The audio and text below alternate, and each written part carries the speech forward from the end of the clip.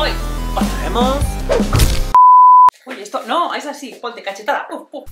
Vueltas, vueltas seguidas, Anastasia acepta las condiciones de Christian y se vienen las escenas más oscuras y más violentas del sadomasoquismo. ¿Pero qué es esto, Dios mío? ¿Qué es esto, por favor? No puedo creer la hipocresía de todos ustedes. No lo puedo creer. Yo puedo decir que tengo bastantes amigas que leen libros y yo escuchaba las conversaciones de que se hablaban entre ellas y yo me imaginaba que la película iba a ser pornográfica. Uy, esto... No, es así, ponte cachetada. Puf, puf. ¡Bomba! ¡Bomba! ¡Bomba!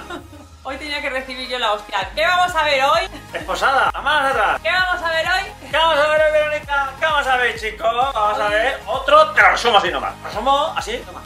Nos habéis pedido mucho, mucho, mucho, mucho, mucho, mucho, mucho, mucho, No, mucho. lo pedimos nosotros. Y ellos también nos Como han los pedido. primeros nosotros. Nosotros sí, fuimos los primeros en decir. Dijimos, Hemos uy, pedido. uy, uy, uy, uy. ¿Qué hace esto con estas películas? Imagínate como 50 sombras. Pues no, va a tirar la película por el suelo. no, no, no ha pasado Nos nada. tira las películas por el suelo. No, porque no hombre. pasa nada. No, no pasa No pasa nada. nada. Por eso, mira, hay una peli medio pornográfica y resulta que. Que sí, que, Una caca de que un maltratado, una que se deja maltratar y un montón de relleno. Y hay una relación tóxica ahí de por medio muy grande, muy grande, muy grande, muy grande. No se ve nada. Y no hay nada de esto. Es que no hay ni historia. Es que no hay ni historia. Pero ¿para qué estamos cantando todo esto? Si lo que queremos es que lo veáis con nosotros. Así que vamos a ver el vídeo.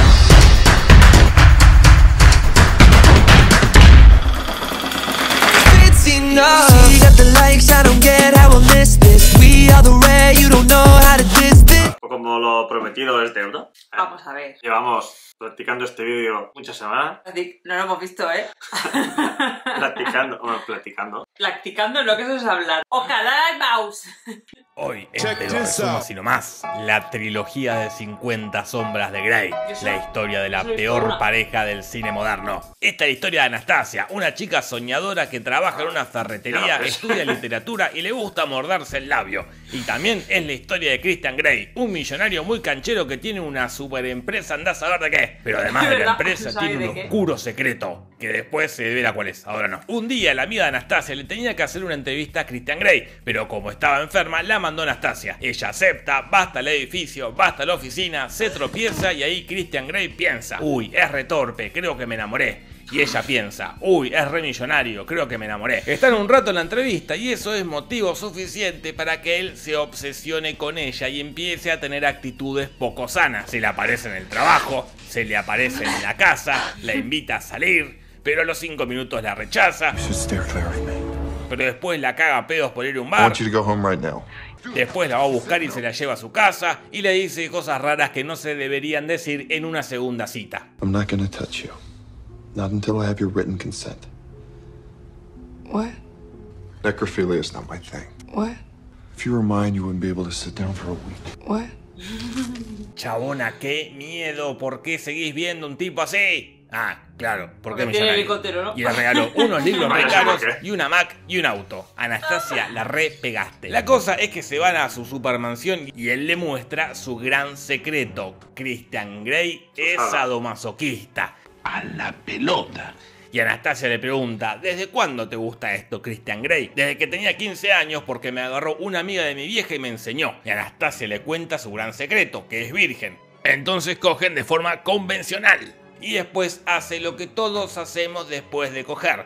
Tocar semidesnudos nuestro piano de cola. Una historia muy cotidiana con la que cualquier chico o chica se puede sentir identificado. Nunca le en la pasó que un chongo les dio un contrato para firmar antes de coger? Bueno, Anastasia sí. Christian le da un contrato donde le prohíbe a Anastasia hacer público cualquier detalle sobre esa relación. Además le prohíbe tomar alcohol, fumar, tomar drogas y tener relaciones con cualquier otra persona. Y además la obliga a tomar anticonceptivos prescriptos por un médico elegido por él y hasta le da una dieta que tiene que seguir al pie de la letra la relación menos sana de la historia del cine moderno. Cuestión que Ana acepta todo lo que le propone Christian sin chistar y revisan el contrato en la oficina peor iluminada de todo el edificio de Christian Grey. Supongo que es parte del sadomasoquismo hacerse mal la vista leyendo. Como dije, Anastasia acepta todos los términos menos uno.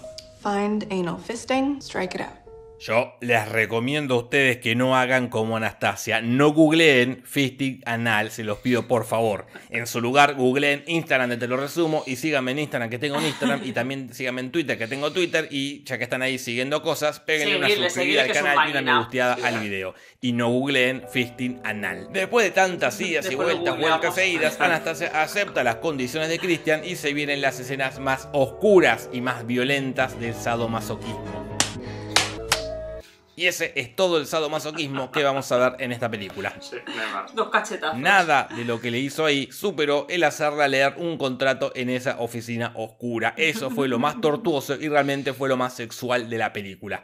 ¿Quieren sadomasoquismo? Entonces vean la saga de Hellraiser. Ahí tenés sadomasoquismo. Y si quieren resumen de Hellraiser, escriban en los comentarios. Quiero resumen de Hellraiser. Pero por favor, no googleen fisting anal. Y parecía que todo marchaba relativamente bien en esta relación espantosa. Pero todo empieza a marchar relativamente mal cuando Anastasia le cuenta a Christian que va a visitar a la madre. Y Christian se enoja porque no le había dicho nada y le arma tremendo escándalo. Pero la cosa no termina ahí. No, porque ella va a lo de la madre y lo llama para decirle que lo extraña y él le dice que se va a cenar con una amiga y ella le hace una escena de celos.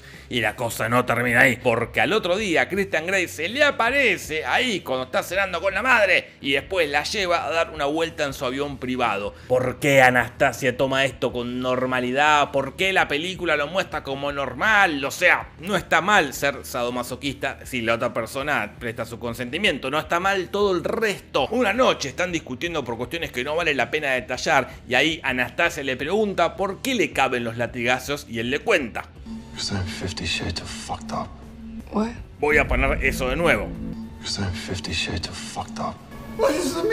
¿Qué significa ¿Qué es eso? Nos preguntamos los espectadores y también se pregunta Anastasia. Te voy a mostrar, le dice Cristian, y la lleva a la sadomasocueva a demostrarle su lado más oscuro, más perturbador y más violento. Toma la talla. Ahora sí. Y esas son las 50 sombras de Grey. Hay por lo menos dos grandes mentiras en ese título. Anastasia se recalienta, imagínate, le pegaron en el culo y le dice a Christian, sos un loco, no por todo lo que hiciste en estos días, no por aparecerte sin avisar, no por las escenas de celos injustificadas, no porque me obligues a tomar pastillas anticonceptivas recetadas por un médico amigo tuyo, no, sino por esto último, no te quiero ver nunca más en la vida. Y Anastasia se va y se pone re triste y recuerda todas las cosas que hicieron en esas dos semanas. El día que bailaron en el living, el día que le dio un beso en los dedos, el día que anduvieron en avión. Oportunamente no recuerda nada de todo lo malo que le hizo, como hacer la Googler Fisting Anal. Y la película termina con Christian Grey muy pensativo en una reunión de la cual se levanta y se va. Entonces la cosa sigue en 50 sombras de Grey 2, las 50 sombras contraatacan. Anastasia siguió su vida y consiguió un trabajo en una editorial con un jefe que abusa de ella. ¿Ese es el vínculo más tóxico que tiene Anastasia? Claro que no, porque va a la exposición de fotos de un amigo y se desayuna con que hay muchas fotos de ella que el tipo está exponiendo y vendiendo miedo, sin ¿eh? su consentimiento. ¿Y ese es el vínculo más tóxico que tiene Anastasia? Claro que no, porque alguien compra todas las fotos. ¿Y quién es ese alguien? Por supuesto, el más tóxico de entre los tóxicos, el mismísimo Christian Grey. Anastasia necesita de modo urgente replantearse su círculo social. La cosa es que Christian Grey le dice que solo quiere hablar y Anastasia le que dice que no. Él le invita a comer y Anastasia le dice que no. Y Christian insiste y Anastasia le vuelve a decir que no. Y Christian vuelve a insistir y ahí Anastasia acepta. My birth Joder. mother died when I was four. She was an addict. You can fill in the blanks. Why didn't you tell me that? I did. But you were asleep at the time. Te lo dije, pero Bueno, estaba no dormida. funciona así, Christian Grey. Si tu interlocutor está dormido, la charla no sirve de nada. De todas formas, gracias a una bonita charla, a una Mac, a un iPhone y a un auto nuevo, Christian reconquista a Anastasia y van a ser muy felices. Pero una extraña mujer acecha a Anastasia. ¿Quién será?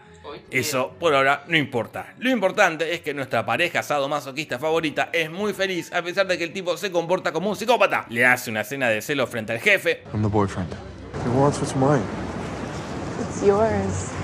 Después compra la editorial donde trabaja Anastasia, But you're gonna be my boss. la humilla económicamente, Keep it. It's $24,000. I make that kind of money every 15 minutes. Keep it. le maneja las cuentas bancarias sin su consentimiento. Christian, how do you have my bank information? Chabona, qué miedo, ¿por qué seguís saliendo con un tipo así? Ah, Claro, porque es millonario y le invita a andar en su yate y a vivir en su supermansión y a jugar al pool. Y obviamente a tener prácticas sadomasoquistas que son mucho más oscuras que las anteriores y mucho más perturbadoras. Y listo. Dato de vital importancia. Christian hace que echen al jefe de Anastasia porque él la quiso violar. Fin del dato de vital importancia. Anastasia y Christian vuelven a ser felices, pero viven el momento más tenso de esta relación, por lo menos hasta ahora, que es cuando la extraña mujer que te mencioné antes se le aparece, Aparece a en Anastasia en la casa y con un arma. Ay. Ella es una ex novia de Christian Grey que terminó todo mal y ahora quiere matar a Anastasia. Okay. Afortunadamente, Christian entra justo a tiempo para salvar la situación de la forma menos interesante posible.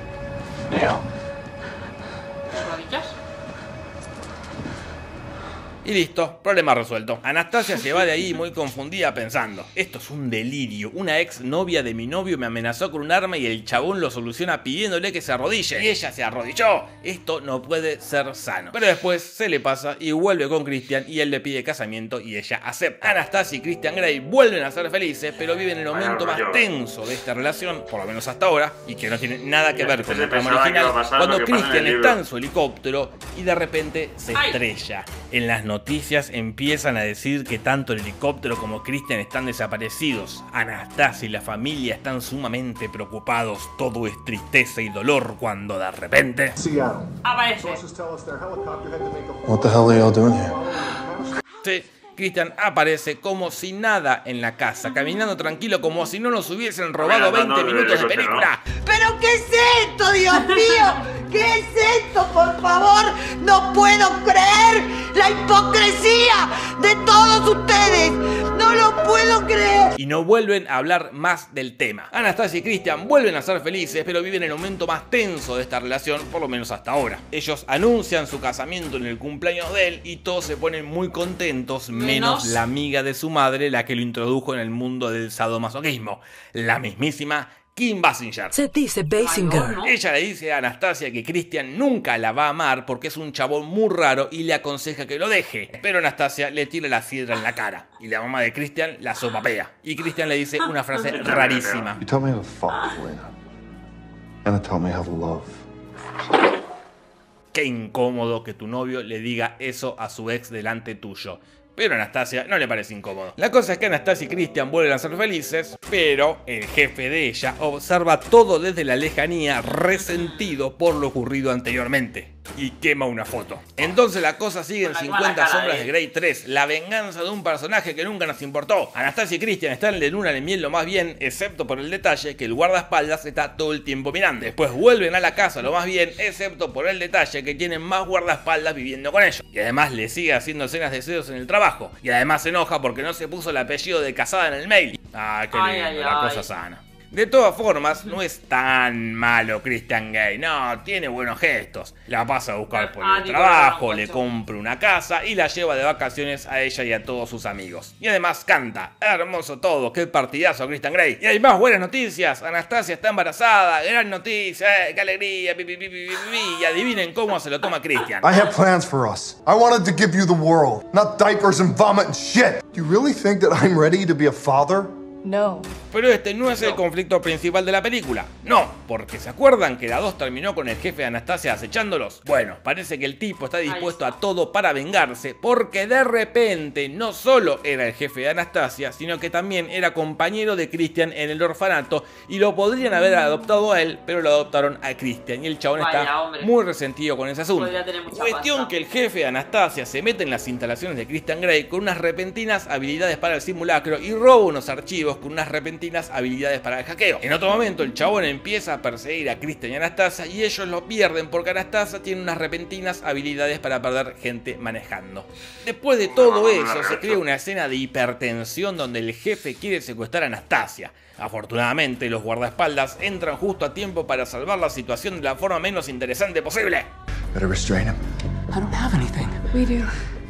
No, me reí en serio con esa frase, la mejor escena de la película. Pero después se vuelve a crear una escena de hipertensión cuando el jefe secuestra a la hermana de Christian. Afortunadamente, Ana tiene un arma para salvar la situación de la forma menos interesante posible. Y todo eso ayudó para que Christian acepte a su hijo. Y lo tienen y así termina la saga. What? Sí, así termina esta película no trató de nada. En realidad, la saga entera no trató de nada más que de una mina que acepta toda la mierda de un chabón. Moraleja, si tenés guita, podés ser todo el psicópata que quieras porque te lo van a perdonar. Esto fue 50 sombras de Grey resumidas y demás. Si querés ver más comedias románticas poco sanas como esta, te dejo algunos para acá. Y no te vayas sin hacerle caso a mi tía Marta. Pegale una suscribida al canal. Y. Anda a contarle a tus amigas y amigos. Ponto. Besitos, besitos, tchau, tchau. Yeah! Qué grande, Jorge, que se traga estas películas para hacernos estos resúmenes y ahorrarnos de ver las segundas partes Y la tercera. y las terceras partes. Aunque sí que yo puedo decir que tengo bastantes amigas que leen libros y yo escuchaba las conversaciones que se hablaban entre ellas y yo me imaginaba que la película iba a ser pornográfica. Pero no. Pero como tiene que ser para un poco todos los públicos, porque Pues sacamos, en vez de ser pornográfico, ponemos a un maltratador. Tóxico, maltratador. Así dejamos que la chica eh, se deja manejar por un maltratador, ¿no? Y como, y como, dice Jorge en el resumen, pues que no trata de nada la película. Yo me he quedado como en plan. Eh, sí, se ha caído en helicóptero, ha venido andando hasta su casa. Sí, todo el mundo buscándolo ahí un montón de horas y él aparece ahí como, hola, ¿Qué aquí? Y yo vengo de dar una vuelta en el coche, hacer un pequeño accidente, no pasa nada. Bueno, que no nos enrollamos más, chicos. Que si os ha gustado el vídeo, que nos deis un like, recordad de suscribiros porque nos encanta que os suscribáis a nuestro canal. Dale a la campanita para que YouTube os avise de que hemos subido vídeos nuevos. Yo soy la campanita, estas son las rayitas. Dejad- Dejadnos un comentario para que lo leamos si queréis que reaccionemos a otros los sumas y no más o algún vídeo especial que encontréis. Y nos vemos en el próximo vídeo, chicos. Adiós.